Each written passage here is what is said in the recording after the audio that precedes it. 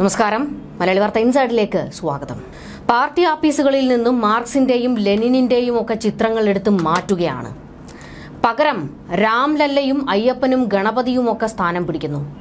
ശരിക്കും മാർക്സും ലെനിനും ഒക്കെയാണ് മിത്തുകളെന്ന് സഖാക്കൾ പറയുന്നു. വിശ്വാസം അതല്ലേ എല്ലാം? വരും കാലത്ത് സഖാക്കൾ ചെങ്കൊടി താഴ്ത്തി പകരം കാവിക്കൊടി പിടിക്കുമെന്ന് തോന്നുന്നു. കഴിഞ്ഞ കുറെ ദിവസങ്ങളായി ഡിവൈഎഫ്ഐ എയറിലാണ്. അമ്പലപ്പറമ്പിൽ കുട്ടി സഖാക്കൾ കൊണ്ടുവച്ച ഒരു ഫ്ലക്സ് ആണ് പ്രധാന വിഷയം. പച്ചരി ദൈവം വിജയന്റെയോ അല്ലെങ്കിൽ മാർക്സിന്റെയോ ഒന്നുമല്ല. വില്ലു കുലച്ചു നിൽക്കുന്ന രാമന്റെ ഫ്ലക്സ്. താഴെ വെണ്ടയ്ക്ക അക്ഷരത്തിൽ ഡിവൈഎഫ്ഐ എന്നും. മതേതരത്വത്തിന്റെ പര്യായം. വെളിനല്ലൂർ ശ്രീരാമക്ഷേത്രം തൃക്കൊടിയേറ്റ് മഹോത്സവം. എങ്ങനെയുണ്ട് കളറായിട്ടില്ലേ സംഭവം? ഈ ഫ്ലെക്സ് കണ്ട് മലയാളികൾ മൂക്കത്ത് വിരൽ വയ്ക്കുകയാണ് ആ ചിത്രം ഇതാണ്. രാമരാമ പാടിയാൽ രാമരാജ്യമാകുമോ എന്ന് ചോദിച്ച് ചെങ്കൊടി പിടിച്ച് പ്രതിഷേധം നടത്തിയ അതേ ടീം ഇന്ന് ശ്രീരാമക്ഷേത്രത്തിലെ ഉത്സവം നടത്താൻ മുന്നിട്ട് നിൽക്കുന്നു. പോസ്റ്റർ ഇതിന് സത്യമാണോ അതോ എഡിറ്റിംഗ് ആണോ ഒന്നും മനസ്സിലാകുന്നില്ല. പക്ഷേ ഇത് ഉള്ളതാണെന്ന് വ്യക്തമാകുന്നു. സൈബർ ഇടത്തിൽ വൻ ട്രോളാകുന്ന ഒരു പോസ്റ്റാണ് ഇതിപ്പോൾ. ഡിവൈഎഫ്ഐക്കാരെ വാരി അലക്കി ഉടുക്കുകയാണ് സോഷ്യൽ മീഡിയ. നിലപാടില്ലാത്ത ഒരു വർഗമുണ്ടെങ്കിൽ അത് ഉറപ്പായും കമ്മികളായിരിക്കുമെന്നാണ് പൊങ്കാല. പത്ത് വോട്ടിന് ആരുടെയും കാൽ നക്കും പാർട്ടിയുടെ പ്രത്യയ ശാസ്ത്രം പോലും അടിയറവ് വയ്ക്കും. രാംലല്ലെ എന്ന് കേട്ടാലേ കൊടുവാൾ എടുത്തിരുന്ന സംഘമാണ് ഇന്നിപ്പോൾ വില്ലു കുലച്ചു നിൽക്കുന്ന രാമന്റെ ചിത്രം വെച്ച് ഫ്ലെക്സ് അടിച്ചിരിക്കുന്നത്. ക്ഷേത്രത്തിലെ തൃക്കൊടിയേറ്റിന് വേണ്ടി തയ്യാറാക്കിയതാണ് ഇത്. അല്ല എന്നു മുതലാണ് സഖാക്കൾ ക്ഷേത്രോത്സവങ്ങൾക്ക് ഫ്ലെക്സ് വെച്ച് തുടങ്ങിയത്. ഞങ്ങൾ ഇങ്ങനാണ് ആവശ്യം വന്നാൽ രാമന്റെ ചിത്രം വെച്ച് പോസ്റ്റർ ഒട്ടിച്ച് ക്ഷേത്രോത്സവം കളറാക്കും.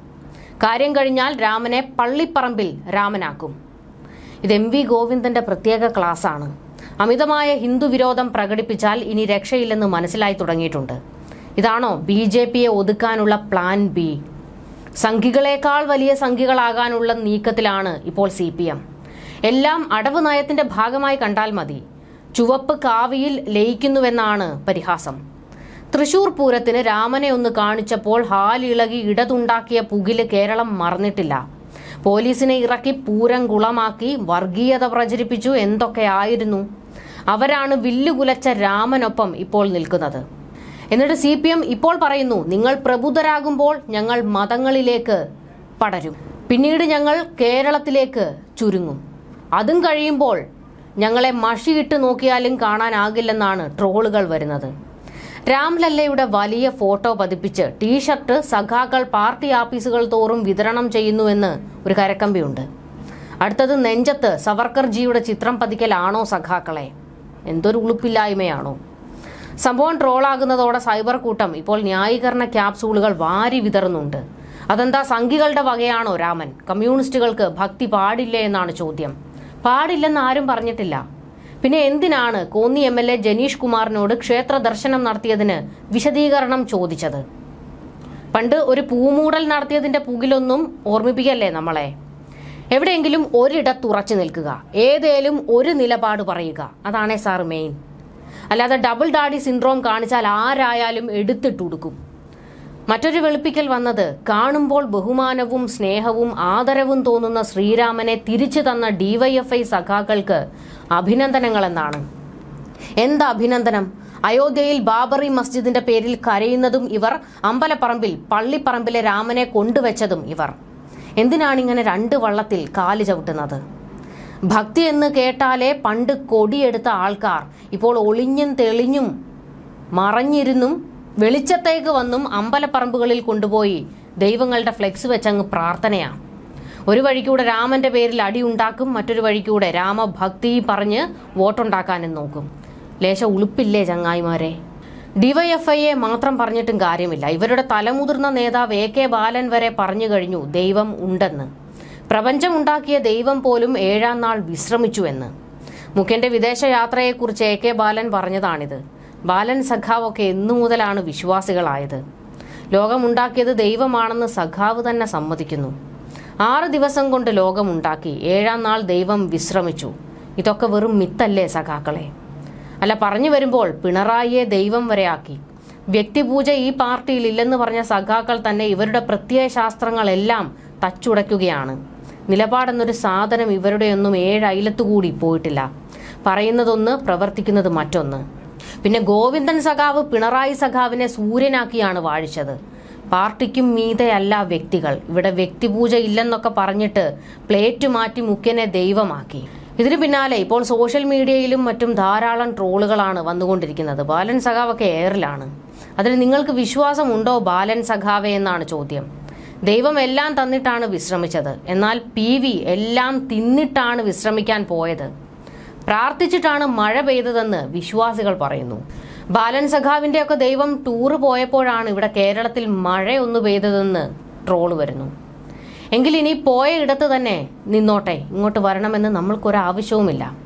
ഞങ്ങളുടെ ജോലികൾ ചെയ്യാൻ വേണ്ടി ഏൽപ്പിച്ച ഒരാൾ ഞാൻ രാജാവാണെന്ന് പറഞ്ഞ് തെണ്ടിത്തിരിഞ്ഞ് നടക്കുന്നു. ഇവർ ദൈവമുണ്ടെന്ന് സമ്മതിച്ചോ? ബാലൻ സഖാക്കളെ പോലെയുള്ള അടിമകളെ കിട്ടാനും വേണം മുഖ്യമന്ത്രിക്ക് ഒരു ഭാഗ്യം. ദൈവമില്ലാത്ത പാർട്ടിക്കാർക്ക് എവിടെ നിന്നാണ് ഇപ്പോൾ ദൈവത്തെ കിട്ടിയത്? ബാലനും ഗോവിന്ദനും ഇ പിയും ഒക്കെ ഇല്ലായിരുന്നുവെങ്കിൽ സി പി എമ്മിന്റെ അവസ്ഥ ഒന്ന് ആലോചിച്ചു നോക്കണേ. ശരിക്കും വിശ്രമം വേണ്ടത് മുഖ്യമന്ത്രിക്കല്ല നിങ്ങൾക്കൊക്കെയാണ്. കാരണം എന്തിനും ഏതിനും ന്യായീകരിച്ച് വശം കെട്ട് നിൽക്കുകയാണല്ലോ. മാർക്സിനെ പുറന്തള്ളിയിട്ട് ദൈവത്തിന് വെൽക്കം കൊടുക്കുന്നത് അത്ര നല്ലതാണോ സഖാക്കളെ? ഇത് നമ്മുടെ പ്രത്യയശാസ്ത്രത്തിനെതിരല്ലേ? പാർട്ടി ക്ലാസ്സിലെ ഉത്തമന്മാർ തിരിച്ച് ചോദ്യം ചോദിക്കില്ല എന്ന് കരുതി സോഷ്യൽ മീഡിയയിൽ നിന്ന് നല്ല ട്രോൾ കിട്ടും. ഇപ്പോൾ പലരും ചോദിച്ചേക്കാം സി പി എമ്മുകാർ ഒരു രാമനെ കൊണ്ടുവച്ചതിൽ എന്തിനാണ് ഇത്ര ട്രോളും അല്ലെങ്കിൽ മാധ്യമങ്ങൾ ഇത് വാർത്തയാക്കുന്നതെന്നൊക്കെ ചോദിച്ചേക്കാം. അതിന് കാരണമുണ്ട്. ഏതെങ്കിലും ഒരു നിലപാട് പറയുക എന്നുള്ളതാണ് അതിനുള്ള മറുപടി. ഒരു വഴിക്കൂടെ ഇവർ ദൈവങ്ങളുടെ പേര് പറഞ്ഞാൽ പ്രശ്നം ഉണ്ടാക്കുകയും ചെയ്യും. എന്നാൽ അതേ ആൾക്കാരാണ് വിശ്വാസത്തിന്റെ പേരും പറഞ്ഞ് വോട്ടുണ്ടാക്കാൻ നോക്കുന്നത്. എല്ലാം വോട്ട് ബാങ്ക് നിലനിർത്താൻ വേണ്ടിയുള്ള ഒരു കളി മാത്രമാണ്. വോട്ട് ബാങ്ക് നിലനിർത്തിയാലാണല്ലോ ഒന്ന് പിടിച്ചു നിൽക്കാൻ പറ്റുക. പച്ച തൊട്ട് നിൽക്കുന്നതാകെ കേരളത്തിൽ മാത്രമാണ്. ചിഹ്നം പോലും നഷ്ടപ്പെടുമെന്ന അവസ്ഥയിൽ നിൽക്കുകയാണ്.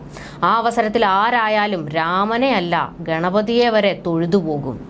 അതാണ് അവസ്ഥ. സി പി എം അവരുടെ വാരിക്കുഴി തോണ്ടിക്കൊണ്ടിരിക്കുകയാണ്. ഇമ്മാതിരി കാട്ടിക്കൂട്ടലുകൾ കൊണ്ട്. ഈ പാർട്ടിയെ നശിപ്പിക്കുന്നതും ഇവരൊക്കെ തന്നെയാണ്. വിശ്വാസമാകാം അല്ലെങ്കിൽ വേണ്ട അതൊക്കെ നിങ്ങളുടെ ഇഷ്ടമാണ്. പക്ഷേ രണ്ടും കൂടെ ഒരുമിച്ച് കാണിക്കരുത്. മതത്തിന്റെ പേരിൽ തമ്മിൽ തല്ലിക്കാൻ നോക്കരുത് ഈ നാട്ടിലെ ജനങ്ങളെ. ഇങ്ങനെ തമ്മിൽ തല്ലിക്കുന്നതിൽ പ്രധാനികൾ ഈ രാഷ്ട്രീയക്കാർ തന്നെയാണ്. അതിലൊരു സംശയവും വേണ്ട. മതമില്ല ജാതിയില്ല എന്നൊക്കെ പറയും. പക്ഷേ മതവും ജാതിയും പറഞ്ഞു തന്നെ വോട്ട് മേടിക്കുന്നത് ഈ രാഷ്ട്രീയക്കാരാണ്. ഇപ്പോൾ സി പി എം ദൈവങ്ങളുടെ പിന്നാലെയാണ്. അവരെ കൊണ്ടേ രക്ഷയുള്ളൂ എന്ന് മനസ്സിലായിട്ടുണ്ട്. അതാണ് ഈ കാട്ടിക്കൂട്ടൽ. ന്യൂസ് ഡെസ്ക് മലയാളി വാർത്ത ഇൻസൈഡ്.